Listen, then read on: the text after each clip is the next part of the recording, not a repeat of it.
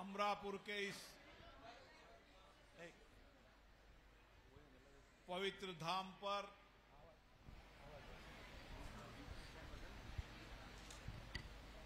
स्वामी टेऊराम जी महाराज के दर्शन करने का सौभाग्य मिला। स्वामी सर्वानंद जी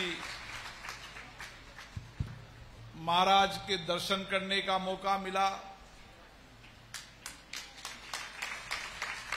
और शायद सतनाम साक्षी, आयोलाल झूलेलाल, चैत्र मेला 102 कि आप सबको लख लख बधाई। बोलो गुरुदेव, भगवान।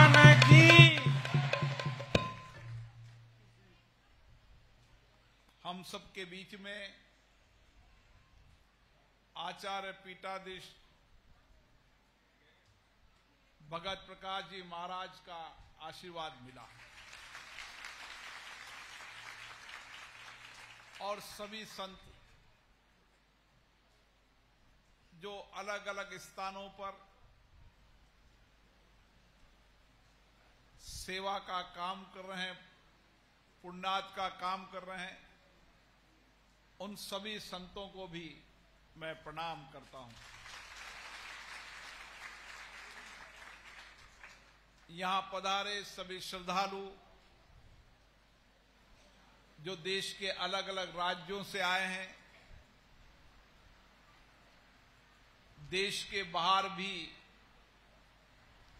जो पुरुषार्थ से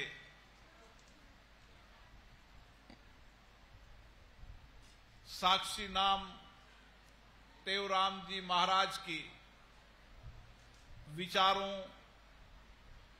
उनके जीवन में दिए गए ज्ञान के माध्यम से उस देश में भी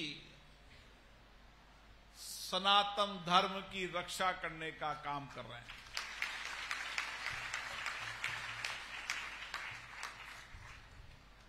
संत साई तेऊराम जी महाराज ने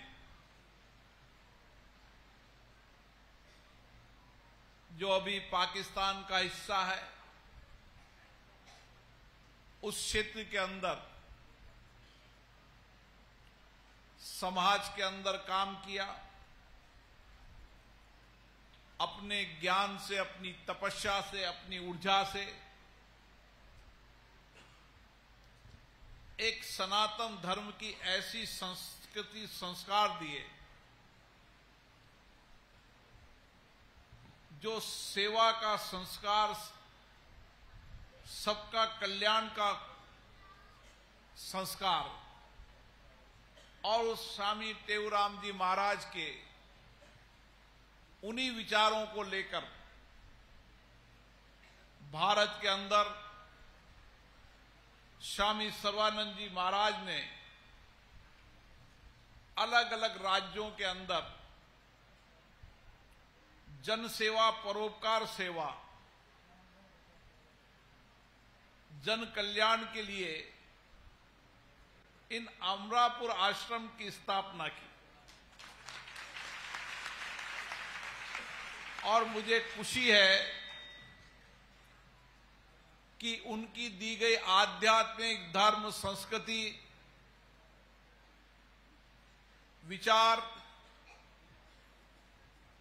आज देश के अंदर अलग अलग राज्यों के अंदर अलग अलग जिलों के अंदर सेवा और पुण्यात का काम कर रहे हैं।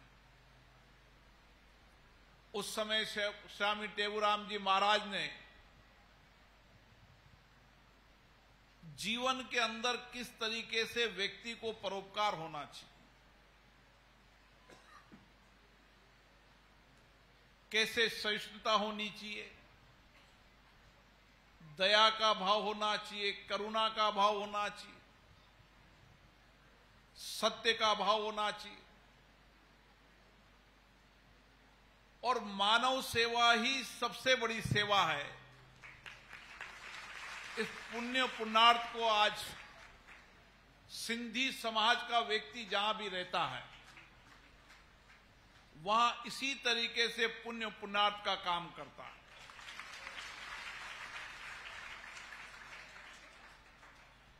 जब भारत का विभाजन हुआ,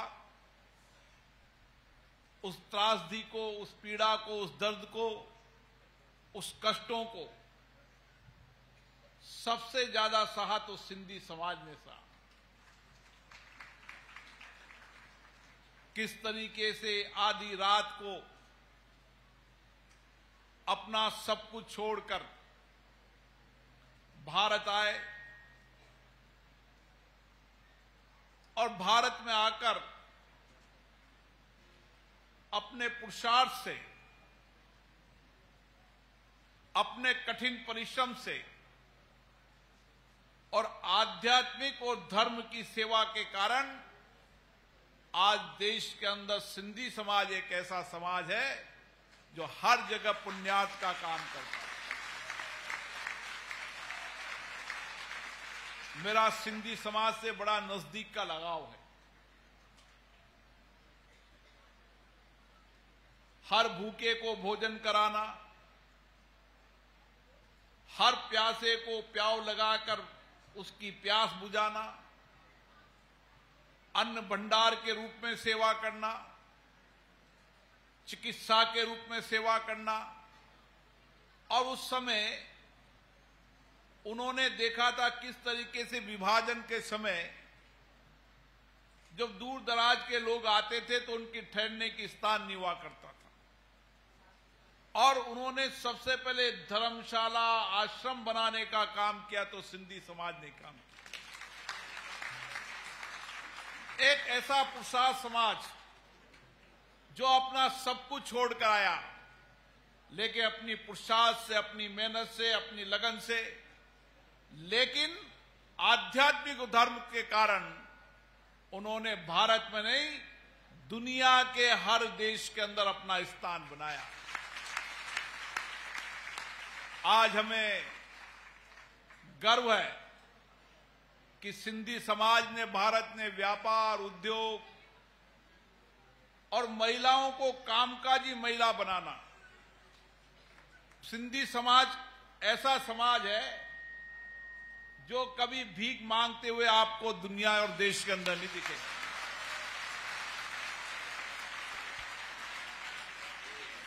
वह अति कड़ी मेहनत के कारण जब दूर दराज के गाँवों के अंदर लोगों को खाने का सामान नहीं मिलता था तो उस जंगलों के अंदर साइकिल से पैदल चलकर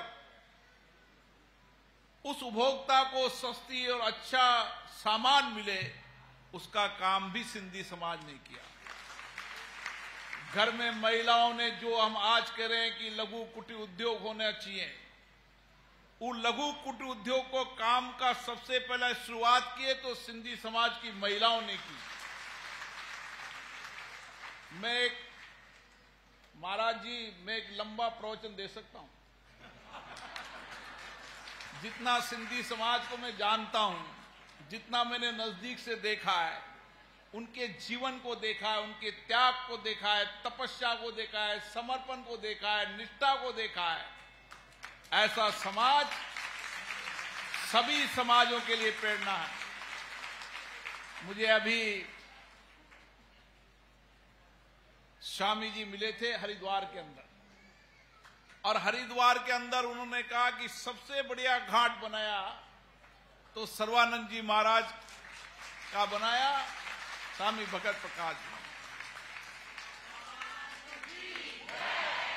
वहाँ भी सेवा ये अमरापुर का जयपुर का स्थान।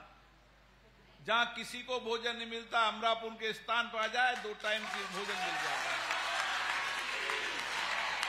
हम भी कई बार ठहरे हैं यहाँ पर।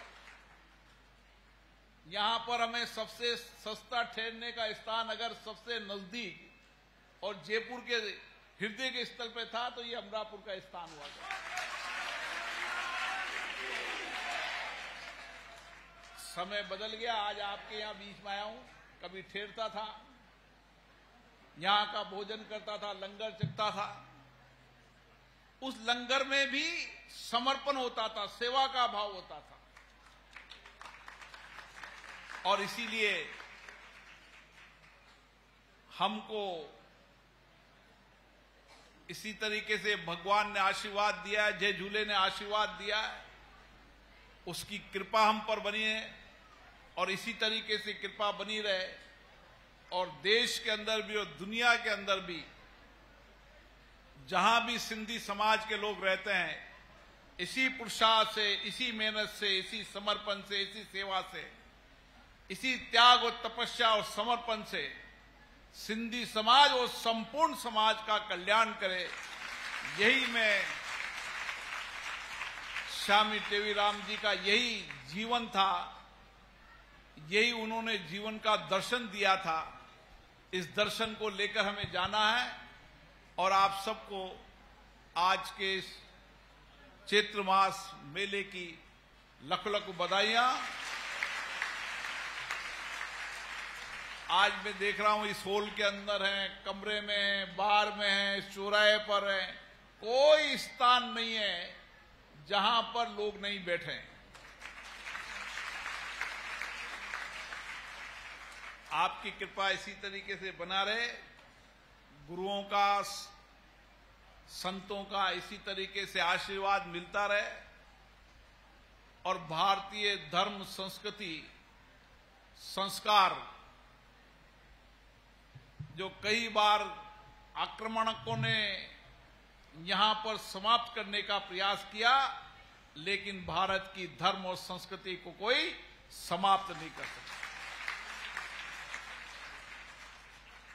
उन्होंने ज़मीन, जायदाद, मकान छोड़ना सब कुछ कर लिया, लेकिन अपने धर्म के और सनातन से कभी समझौता नहीं किया।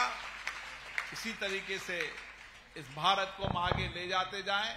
भारत की धर्म, संस्कृति, आध्यात्मिक सहिष्णुता सबको साथ लेकर चलना, ये हमारा वसुदेव कुटुंबकम की भावना, सारा विश्व हमारा परिवार है। इस संस्कृति और संस्कार को आपके नेतृत्व में आगे बढ़ाते रहें। आप सभी को लख लख बधाइयाँ।